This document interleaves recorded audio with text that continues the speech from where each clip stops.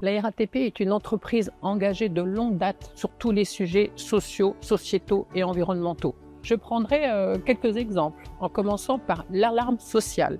C'est un concept qui a été inventé par la RATP en 1996, une procédure de prévention des conflits qui vise à éviter les grèves.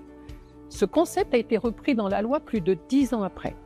En matière d'environnement, le premier bilan carbone de la RATP date de 2006, à une époque où peu d'entreprises sont préoccupées. Enfin, le recueil social, une équipe dédiée à la RATP qui, depuis plus de 30 ans, se préoccupe au quotidien des plus démunis qui viennent se réfugier dans le métro.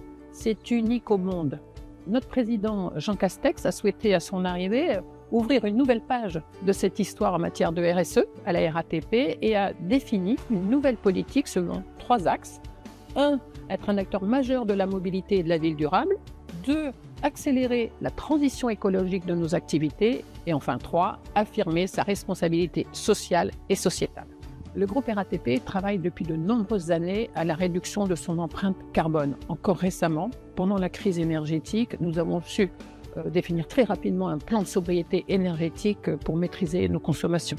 Nos engagements en matière de neutralité carbone ont été reconnus en 2022 par une prestigieuse organisation internationale, le SBTI, comme étant conformes aux objectifs de l'accord de Paris pour limiter le réchauffement climatique à 1,5 degré. Un des projets phares de la RATP pour atteindre ces objectifs de réduction d'empreinte carbone, c'est le plan BUS 2025, qui en 10 ans va nous permettre de diviser par deux nos émissions de gaz à effet de serre. Un projet unique en Europe. En matière d'eau, l'entreprise vient de formaliser un plan ambitieux de réduction de nos consommations à l'horizon 2030. Nous visons une réduction de moins 10%. Cela concerne toutes les activités de l'entreprise. Mais c'est aussi pour nous l'occasion d'innover.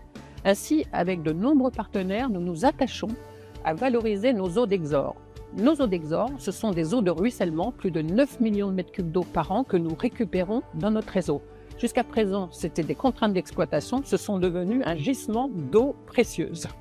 En matière de responsabilité sociale et sociétale, j'ai déjà parlé du recueil social qui montre que la RATP sait aller bien au-delà de ses missions de service public. Je voudrais prendre euh, des exemples plus récents issus de l'accord sur la qualité de vie et les conditions de travail euh, qui a été signé en 2024 en citant le logement pour les salariés, puisqu'il y a un engagement d'augmenter de 50% l'offre de logement pour les salariés à travers cet accord.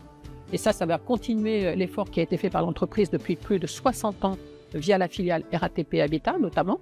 Autre exemple en matière de risque professionnel, cette fois, une occasion aussi pour nous d'innover, puisque depuis cette année, tous les ateliers du RER e et du tram vont être équipés d'exosquelettes de dernière génération. Ce sont des appareils qui euh, réduisent la pénibilité pour tous nos opérateurs, notamment quand ils travaillent main levée.